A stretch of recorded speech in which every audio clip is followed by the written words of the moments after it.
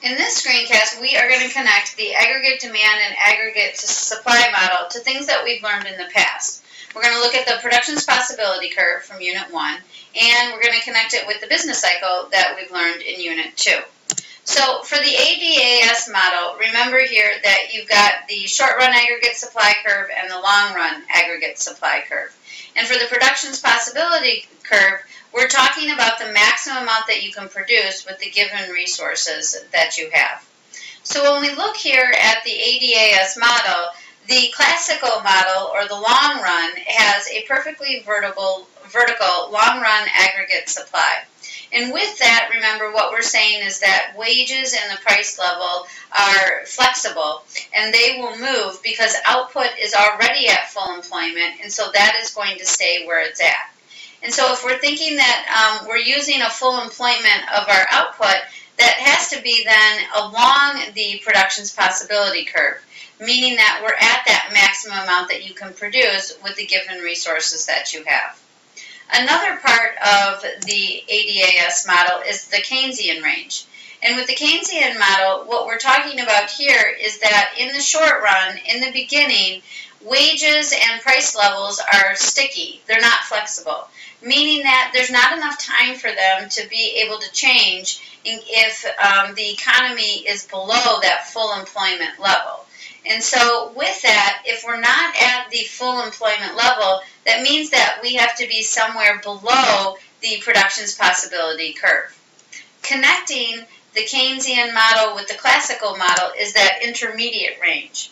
And with that, this is where you start to see that um, prices, the price level and wages are a little more flexible.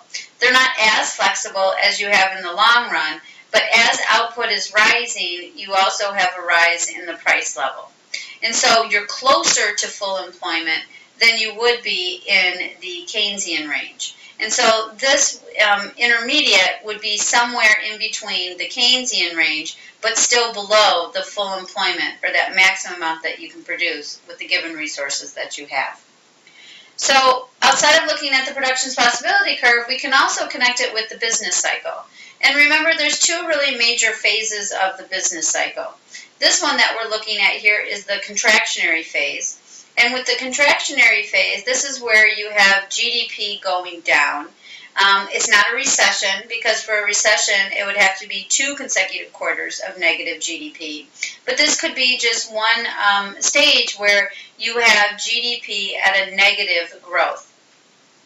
You can represent that with the ADAS model where you have here the growth is going down, you have a decrease in the aggregate demand, and so you're not at that full employment level of output. And so this would show here a connection of where you have price level is going down, you have unemployment going up, because you're not able to um, have as large of an output as you would have before during this time when GDP is going down. Remember, there's always an inverse relationship between GDP and unemployment. The other way to look at it is the expansionary phase. So here again is that contractionary. You hit the bottom or the trough, and then you pull, pull into that expansionary or recovery, recovery phase of the business cycle. And during this stage here, you have GDP that is growing. And so an example of that could be where you're at a full level of employment and your aggregate demand is increasing, and as a result, your GDP is also increasing. Remember though too, if we were way back at where we were at in the previous one, you could even have the expansionary happening here and it's showing your output growing, maybe you're still not at that full level employment of um, output. However, any increase in aggregate demand is going to show an increase in GDP. And so as you continue along with this, you have GDP rising, which is economic growth. You have the price level rising, which is inflation.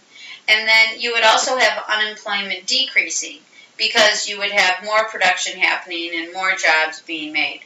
GDP having being positive and growing grows up until a point where it maxes out, and that's where it has its peak before it hits the next phase, which would be the contractionary phase.